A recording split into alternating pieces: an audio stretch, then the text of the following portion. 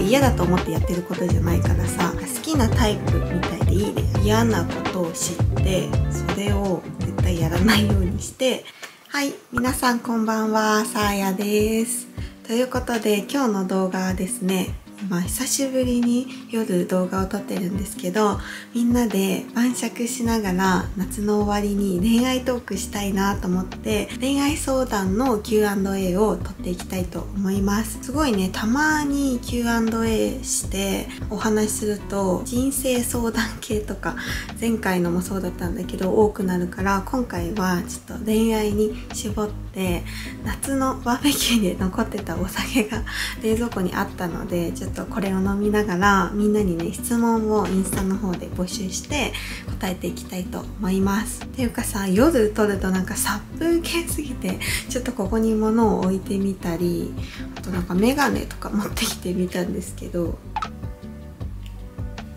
なんかオフ感出るかなとか思って。メガネかけどっちがいいですかね。あんまりメガネかけて撮ることないからこれで。とゆるっと今日はやらせてもらおうかなと思います。もうね早速質問っていうのみんなの相談送ってくれてもうさ楽しい可愛いしドキドキするししんどそうっていうのもいっぱいあって、まあ、正解とかないし完全に私の恋愛観で答えていくんですけど楽しく本音でみんなと喋れたらなと思って撮っていきたいと思います。えメガネ変かな？まあまあまあいい。よかったらねみんなも飲み物準備したりとかお風呂の中でとか準備しながらとかゆっくり見てくれたら嬉しいです。ということで是非最後の方まで見ていってください。動画スタート。とりあえずまず乾杯しよう。おおそれでは今日も一日お疲れ様でした。乾杯。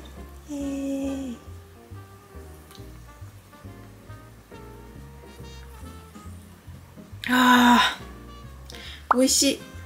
今日ユニクロの動画を撮ってたんですよ。で久しぶりにファッションの動画撮ったから時間すごいかかっちゃって気づいたら夜になっちゃっててたくさん着替えたからさ超疲れたしビール飲みたいなって思ってたんだけど夏に残したお酒だし収めなきゃなと思って収める。今日はほろ酔いで失礼します。なるべくいっぱい答えたいんだけどちょっとちゃんと一個一個 答えていきたいと思います。じゃあ楽しいのからいこう。さあやさん1年半ぶりぐらいに彼氏ができました。おめでとう。相手に対して嫌な部分が見えた時言動や行動で直してほしい時どんな風に伝えますか？うーん。伝え方で言うと説教チックにならないように可愛く伝えたいなとは思ってて。であと気をつけたいのが自分がなんでその言葉が嫌なのかとかそういう行動が嫌なのかっていうのを自分が理解してないと相手ってさまさか嫌だと思ってやってることじゃないからさでそれを説明しなきゃえわかんないよ。なんで分かってくれないの？みたいになってくるからなんで自分これ嫌なんだろう？て考えるようにしてるかな。これめっちゃ私の MBTI のせいだと思うんだけど一旦自分に落とし込んでから話した方が相手に伝わりやすいしなんか喧嘩っぽくならないしいいかなって思います。でもすごい優しい子だからさ優しい人と付き合っててくれてるといいな。あとはヒートアップしてあの時もこうだったじゃんとかいうことをやめていてえその時そんなこと思ってたのっていうのって結構自分でもショックだからその時自分の中で収めたものは引っ張り出さないっていうのは絶対的ルールかもしれない私の中で。そんな感じでどうでしょうか？今度会う機会あったら是非教えてね。次。片思いしてる人に彼女ができました。立ち直る方法教えてください。悔しいね。どういう関係だったんだろう。私もさめっちゃいい感じ。もう付き合うでしょ？あなた。みたいな人に急に彼女ができたことあって。もうなんかえ？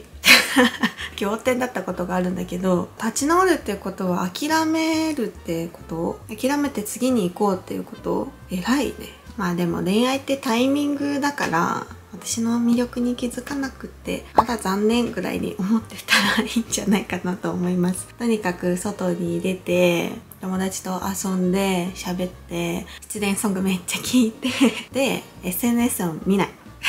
相手の SNS を見ない。そしたら自然と楽しくなって忘れてるんじゃないかなと思います。1年付き合って同棲3ヶ月目です。好きだけど結婚したいかわからなくなってしまいました。あー一旦あるよねその時期。この人でいいのかな？みたいな。長く続いてるとそれこそそうなったりするんじゃないかなと思うんだけどなんとなく結婚したいかわからないからやめようだけは危なすぎるからやめてほしくって。今24だからさまだ若いからいいけどまた2年ぐらい付き合って同棲してちょっと経ってきた時にまた同じ気持ちになるかもしれないじゃん。この人でいいのかなみたいな。それで別れていくとキリがないからそのふわふわしてるのが一時的なものなのか根本的に何か自分の中でこの人じゃないやって思ってるのがあるのかを突き止めた方がいいんじゃないかなって思います。違和感を持ったまま結婚してもさ絶対後々ん？ってなる気がするから。次元彼が付き合うタイプのやりもくだったから自分を性的対象として見る人を好きになれなくて私に全く興味なさそうな人ばかりいいなと思ってしまい全然彼氏ができなくて辛いです、えー、とりあえず元彼をグーパンすることでそっかでもうーんえー、なんだろう恋愛対象として見られたら性的対象として見られてると思っちゃうっていうことかな。まあ、自分に全く興味なさそうな人と恋愛するのも別に楽しいと思うし一旦とりあえず目的が彼氏を作るなんだったら自分に好意を持ってくれてる人好きにならなくていいからちょっとご飯に行って申し訳ないけどこっちのリハビリとしていろんな人とご飯に行ったらあこの世の中やりもくだけじゃないんだなっていうことに気づけるんじゃないかなと思うのでちゃんと理性を稼働してる自分を好んでくれる人たちとご飯に行くのがいいんじゃないかな遠回りなようでと思います。次出会った時はお互いパートナーがいてでも惹かれ合ってる期間があってうずうずしていた期間を得て早7年。え、すごい今お互いパートナーはおらず、仕事など環境も変わって月に1回程度2人で出かける中ですが、今が心地よく相手が今どう思ってるのか聞く勇気が出ません。いい年なのに。ええー、7年経って月1、2人で出かけてくれるのに何も思ってなかったら詐欺ですけどね。え、どん、えー、確かになんか今の関係が壊れたら、こっちの方が嫌だからっていうのあるあるですよね。でも向こうも同じように思ってるに100票ぐらい入れたい。ちょっと話す回数とか会う回数を意図的に増やしてみたらいいんじゃないですか。電話しないとか。今月ここも空いてるんだけどどうみたいな積極性を出してみる。で惹かれたら聞く。でも惹かれ合ってるって言い切ってるから惹かれ合う関係なんですよ絶対。7年尊い。ちょっとぜひ教えてください。続きをお願いします。彼曰く最近マンネリ気味らしいのだけど私はそうでもないマンネリ対策ありますか？えー、ホテルに行きましょう。でもなんだろうマンネリって言ってくれるだけめっちゃ仲いいんだなって思うんですけどまあ、同棲してたりしたらよく聞く話ではあってあと仕事のストレスがある期間とかもよく聞くんだけどだから今大変な時期なのかなとかをちょっと気にして見てみてなんかそういうことではなさそうって思ったらガンガン旅行とかなんかいつもと気分が変わるところに行ってみたらいいんじゃないかなっていうのが誰に聞かれても私のアドバイスです。まあ全部ゲーム感覚でじゃあ1ヶ月お触り禁止でとかやってみたら 可愛いんじゃないですかね。そんな期間もあったよねってなることを祈ってます。サークルの1個下の後輩が気になってるんですけどなかなか距離の距離が縮められませんアドバイスくださいえー、なんかサークルってさ1個上の異性ってちょっと遠い感じありません。自分も後輩なんて恋愛対象に入れてなかったしだからまずはありですよ。私あなたのこと気になってますよってそこまでじゃなくていいな。特別感があったらいいんじゃないかな。みんなでいるところでわざわざ話しかけに行ってみちゃうとか LINE してみちゃうとかあわよくば電話してみちゃう。で電話した次の日にみんなで会って目配せとかしちゃうみたいな。そしたらなんか向こうもあ先輩恋愛対象として見ていいんですねみたいなまずそこからなんじゃないかなと思います。まあ先輩なんだから先輩の権力をガンガン使っていきましょう。年下といい感じなんだけど、年下とか関係なく関わる上で心がけていることがあれば聞きたいです。うーん。なんかその人を好きになるのに、年下だからを前置詞に入れないことかな。なんか私誰を見るにも友達でも気になる人でも、その人のいいところを見るように心がけてて、っていうかもう癖でそうなっちゃってるんだけど、でも年下って年下なのにこれができてすごいみたいなことで勘違いしがちハードルが下がりがち。だから年下とか関係なしにこの人のこういうところが尊敬できるなみたいなところを持っておくと自分もずっと好きでいられるし相手にも伝わりやすいかなって思います。次、話し合いすらしたことないのに彼氏から冷めたから別れたいと言われました。どうしたらいいですか？とりあえず、ちゃんみなの B 級を聞いてください。あれ本当に元気出るか聞いてください。なんか話し合いができない人とか、冷めたからとか言えちゃう人って本当にあなたに対しても、関係に対してもリスペクトがかけすぎていて、本当に許せない。だからちゃんみなの B 級を聞いてお尻を振って、まあ、今はしんどいかもしれないけどすごい冷たく振る舞うように追いかけないであっそみたいな。えいいんですか？こんないい女音を逃してリスペクトもできないようなあなたに私以上の人は現れませんよぐらいの気持ちで一旦冷たいふりを装ってそしたら、まあ、人間逃げられたら追いたくなる生き物なので結局今の立場が逆転すると思うんだけどそれで付き合うのは付き合ったらいいしどうでもよく見えてくるんじゃないかなと思います。あちょっとカメラの充電が切れちゃって再開していきます。大丈夫かな？位置とか照明とか。安心感はあるけどドキドキ感がない。アプリの人と付き合って1週間。えー、なんか安心感って後から出てくるものだからさ最初はドキドキしたいじゃないですか。次で。一目惚れしたことありますか？私したかもしれないです。えー、したことないな。なんかどういう感覚なのか？教えてほしい。かっこいいって思ってもさ、それが惚れるになるまでってどれだけ？でも私外見から入ること本当にないんですよね。あるか。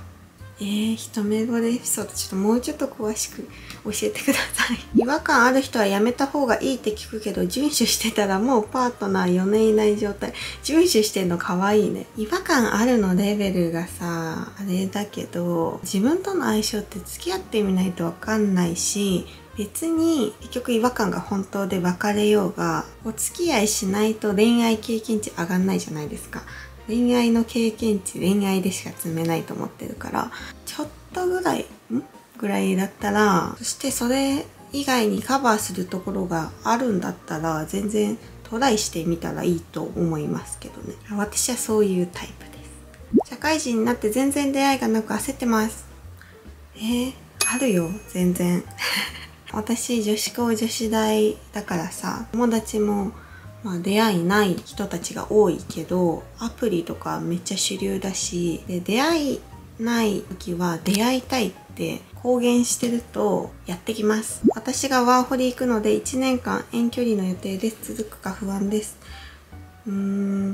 まあ、続いたらすごい。1年遠距離でも実際に会わずに連絡だけで関係を続けられるって結構な信頼値とお互いがめちゃ好きじゃなきゃできないから続いたらすごいぐらいでいた方がいいんじゃないかな。遠距離で大事なの。なんだろう。素直でいること。相手の状況が浮かぶぐらい近況報告をし合うこと。それで続く人は続くし頑張っても続かない人は続かないからまあなるようになると思って。長く付き合うコツって何だと思いますか？うん長く付き合ってても相手のこと全然知らないみたいなカップルもいるじゃないですか。だから一概に長く付き合えばいいみたいなことはわからないけど長く仲良くするには相手が嫌なことを知ってそれを絶対やらないようにしてちゃんとコミュニケーションを取るかな。好きっていうのとかもそうだけど自分が何か思うことあったら隠さずにちゃんと言うとか自分が我慢しててもそれはその場しのぎの優しさで優しくないなって思うから相手を思いやるっていうことでちゃんと話し合いをすることかな？と私は思います。ISTJ 男の子と出会いたい ENFJ 女の子です。えこれさなんで ISTJ が合うなって思うんだろう？やっぱり MBTI って大事？でもなんか好きなタイプみたいでいいね。ISTJ が来たらさだってこれだってなるってことでしょ。でも ISTJ がどうして魅力的に思うのかめっちゃ気になる。彼氏が欲しいというより好きな人が欲しいのですがどこにいますかね。めっちゃわかる。一旦自分の脳を恋愛モードにするのって大事だなって思って。それこそこの間高校の同窓会行った時にまあみんな恋愛に積極的で失敗しようが、まあ、楽しかろうが楽しそうでそんなさ結婚を見据えてが全てじゃないからさあ軽率に 軽率にそうやって楽しんでるのを聞くと恋愛したいってなったから旦恋愛モードにすると軽率に恋愛できるんじゃないかなと思います。20代フリーターです。馬先の社員さん。30代が気になってます。2人で話すタイミングがないです。おー。えー、全然ご飯に誘っちゃえばいいんじゃないかなって思いますけどね。まずは後輩ムーブでご飯どこどこ行きたいんですけどみたいなとか。まさか30代のさ自分がさ若いバイトの子に好意を持たれてるなんて思ってないだろうからやっぱ好きバレって大事だなと思って誘ってみたらいいんじゃないかなと思います。はい、ということでこんな感じでもうねカメラの電池がなくなってきちゃって全部が全部お答えできなかったんですけど久しぶりに Q&A をやってみました。うん正解がなさすぎて私も難しいなって思うんだけどみんなの恋愛話聞けてすごい楽しかったのでまたやろうかなと思います。送ってくださった方ありがとうございました。よかったらチャンネル登録とインスタのフォローもぜひぜひお願いします。それではまた次の動画でお会いしましょう。おやすみなさい。バイバーイ。